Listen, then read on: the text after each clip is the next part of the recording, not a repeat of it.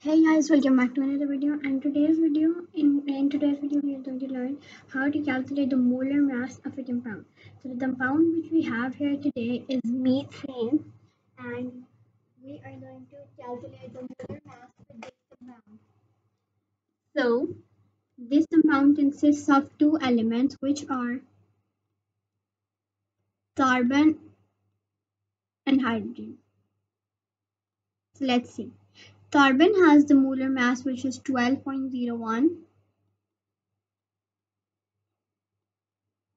So we'll add the molar mass of hydrogen in this. So 1.01 multiplied by 4. Now you are thinking why I have put this multiplied by 4 with this.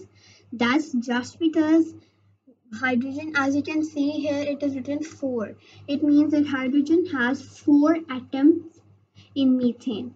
So there are 4 atoms of hydrogen in methane. That's why we need to multiply 1.01 molar mass of hydrogen with 4 because there are 4 atoms.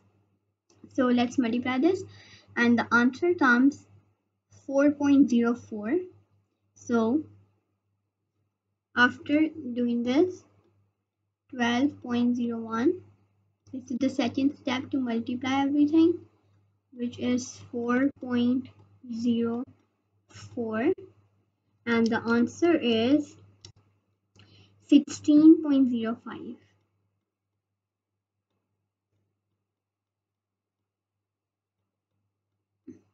16.05 so the molar mass for methane is 16.05.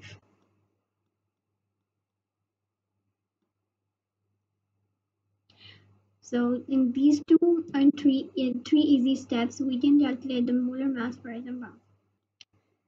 So not all periodic tables have this uh, have the molar masses of the elements in underneath them so here you can see the mm, periodic table that I have. Every element has its own molar mass in the bottom of it. So if you want this periodic table, you can uh, get the link from my the video description. And if you are not able to get it from there, uh, but you will get it from there.